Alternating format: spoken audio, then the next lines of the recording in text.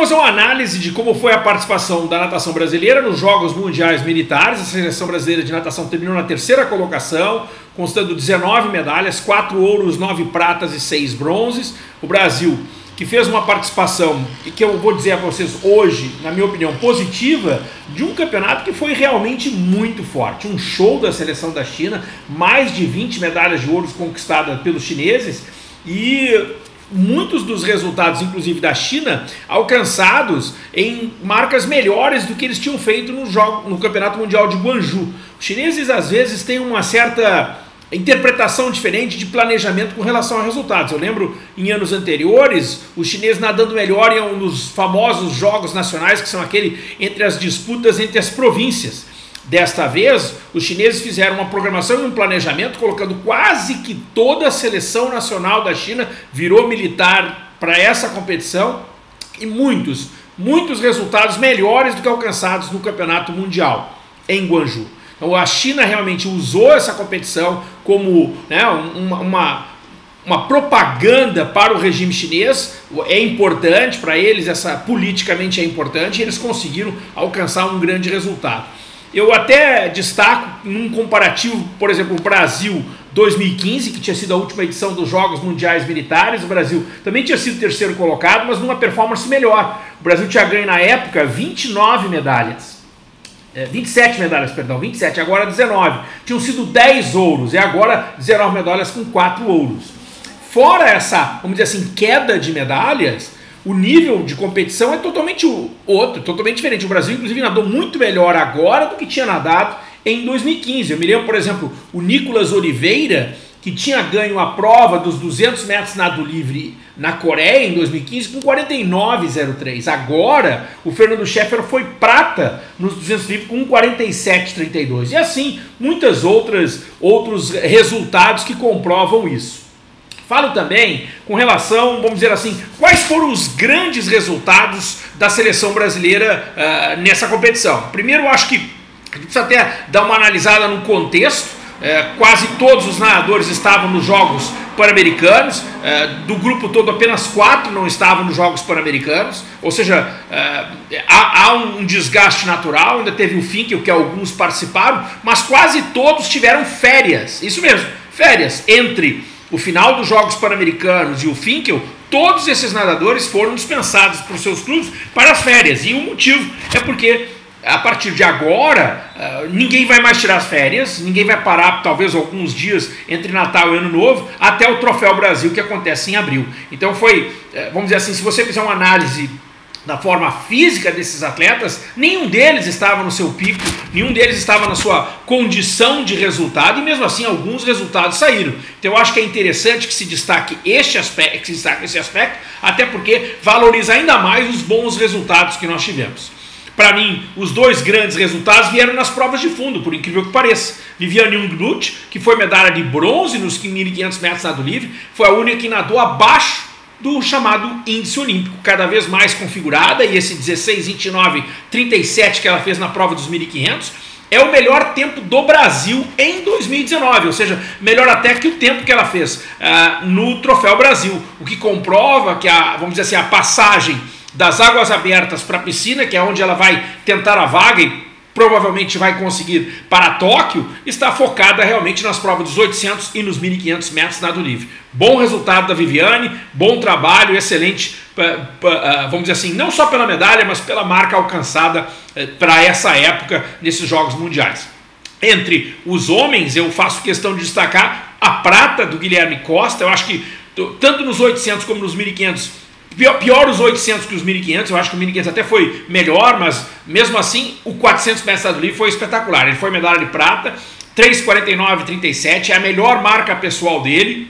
E até, gente, até para entender um pouco de treinamento e planejamento e programação, é bom quando você tem um fundista, como é o caso do Guilherme, que está melhorando nas provas mais curtas, que vai dar um impacto direto nos parciais de prova dele. Ou seja, com a capacidade, baixando as marcas de 200, de 400 metros nado livre, ele vai conseguir melhores parciais, ou seja, vai conseguir tentar arriscar um pouquinho mais nos parciais de 400, de 800, para fazer uma grande marca nos 1500. Foi muito bom o resultado do, do Guilherme, acho que foi bem expressivo disso. Na outro resultado que acho que merece destaque é o 4 por 100 livre, continua configurado como a prova do Brasil, sem dúvida nenhuma. Eh, eu até fiz uma publicação no blog do coach que analisava eh, exatamente essa boa fase do 4 por 100 livre masculino do Brasil e mantendo uma certa tradição. Fomos medalha de ouro, 3, 14, 36, uma boa marca. E até destacar aí o Pedro Spajari, que foi medalha de prata tanto no 50 como no 100 livre, para nadando para marcas expressivas. E o Pedro Spajari foi um que tirou férias e fez 22,3 e, e fez 48,7, ou seja, eh, não tem como não ver o Spajari é, totalmente polido, descansado, preparado, nadando para 47 baixo. É o que está na hora de se ver e eu acho que tem toda a condição para isso.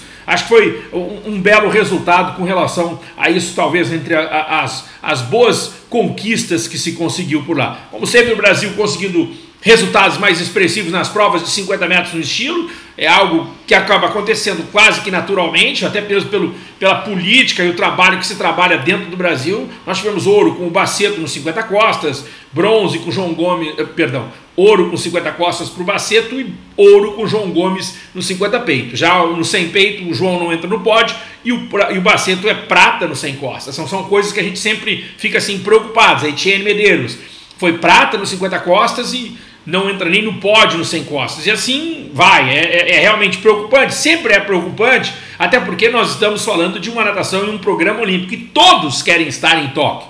Todos os nadadores que aqui falei querem estar em Tóquio. Então é, é, a gente sempre quer que ele aconteça. Só que, até para entender, é muito mais fácil para a atual época de treinamento, de planejamento, de programação, obter resultados nas provas mais curtas do que nas provas mais longas. Né? Então o nadador mais menos preparado, vai conseguir resultados mais nas provas de mais de velocidade que nas provas mais longas. Eu gostei demais do Fernando Schaefer, acho que mantém uma bela tradição. O Fernando Schaefer foi determinante na prova do revezamento e esse 1,47,32 no 200 livre para mim também foi bastante expressivo faço um destaque a, a, a respeito uh, deste movimento. O que é a natação militar? É, até para as pessoas entenderem, essas pessoas são militares, eles são realmente militares de carreira. É muito fácil você entender o, o, o plano de, de, uh, para os atletas de alto rendimento que se incorporam nas Forças Armadas, é um processo seletivo, é um processo que atende todas as demandas, é um processo que há um edital, os atletas são selecionados, mas necessitam participar do edital.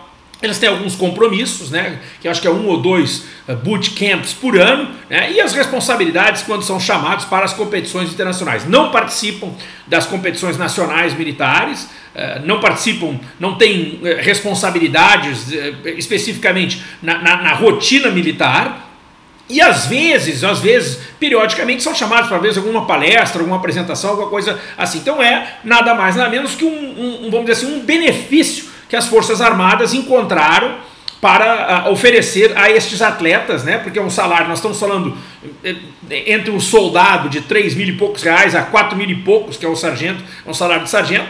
É, é um período, é, é, o chamado militar temporário, eles têm oito anos para poder atender as Forças Armadas, não tem direito a, a 13 terceiro, não tem direito a férias, mas são, é, há um benefício para eles porque é um rendimento é, expressivo para nadadores de alto rendimento. Isso acontece com mais de 200 atletas de alto rendimento espalhados por todas as modalidades do país. É algo que, que as Forças Armadas encontraram é, num plano para atender aquele campeonato mundial é, que o, os Jogos Mundiais Militares que o Brasil sediou em 2011 no Rio de Janeiro, foi um programa que ali se iniciou e hoje as Forças Armadas investem nesse aspecto. É certo, é errado? Uh, eu não gostaria de entrar muito nesse processo, até porque atende ao que os atletas precisam, né? Os atletas ganham dinheiro e praticamente não têm responsabilidade alguma. Não dá para dizer que são militares, aí por favor, claro que não são militares. Eles são atletas que recebem um patrocínio do, das Forças Armadas. Não tem como dizer graças ao, a Forças Armadas. Não, não é verdade. Até porque todos esses atletas ganham muito mais do que esses 4 mil reais que o Exército dá. Ou a Força Aeronáutica. Sabe, o rendimento de patrocínios do clube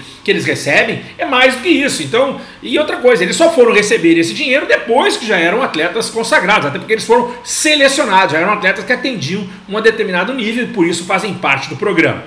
Aí você, você vai dizer, mas e como é lá fora? É igual. A China pegou toda a seleção e fez a mesma coisa. A, a Rússia, a mesma coisa. Não existe esses atletas eh, internacionais que participam do, do, uh, do programa, dos programas militares também não são militares. Então é algo que acontece aqui acontece lá fora. Por exemplo, Estados Unidos nem tanto. Estados Unidos realmente são atletas militares. É, talvez eu seja um dos poucos que eu vejo que, que, mas o resto é todos fazem o mesmo padrão. Inclusive, o programa que se faz no Brasil é baseado no que a China e no que a Rússia faz. Né? O Kirill Prigoda, o Kirill Prigoda não, o, o, o Anton Shupkov, que estava lá, não é militar.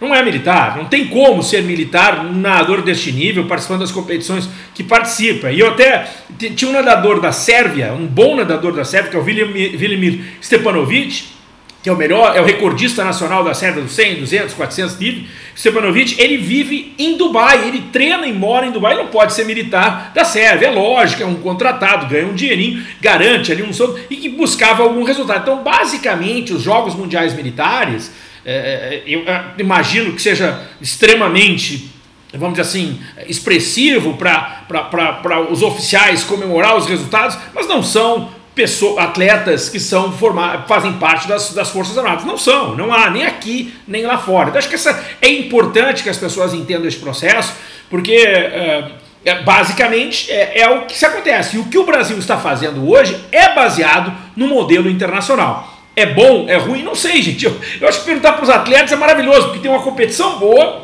eles viajam com boas condições, recebem dinheiro e ajudam o esporte. Não há dúvida de que seria ótimo que o governo pudesse destinar essa verba de uma outra forma, mas é uma, uma verba que acaba entrando para a conta bancária dos atletas, permitindo que se mantenham no alto nível. É isso. As Forças Armadas hoje, elas suprem uma carência da nossa realidade. É isso. Não tem uh, porque, uh, mas não tem como dizer que são atletas militares, que não são atletas militares, porque não, não, não pertencem às forças. É somente isso. Agora, eu acho, até, vamos dizer assim, fazer uma análise para frente, eu, eu, eu acho que é importante que os atletas tenham um certo suporte e que bom que existe isso, porque o dinheiro é do governo.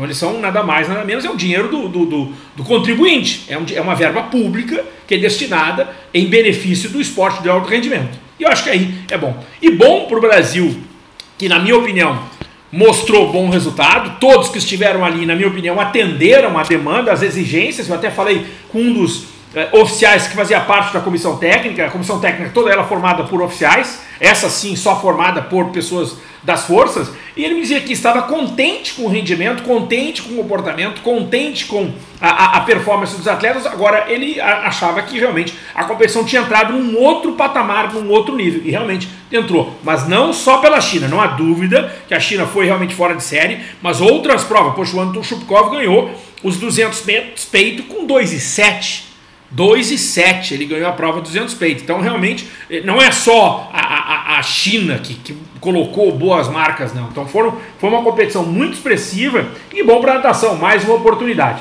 Moçada, está voltando, ainda nós temos águas abertas que vai até domingo. Ana Marcela já ganhou a prova dos 10, o Alan do Carmo já foi bronze no 5, nessa sexta-feira, nós, perdão, a Ana Marcela foi bronze nos 10 e o Alan do Carmo foi bronze nos 10 também. Nesta sexta-feira, a prova dos 5 e no domingo termina com a prova de revezamento. Era isso. Cam, a gente volta. A gente se vê por aí. Até mais.